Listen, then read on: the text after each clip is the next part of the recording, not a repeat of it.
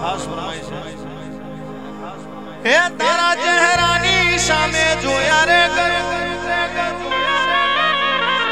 હસતા રહા એવી દુવારે કરું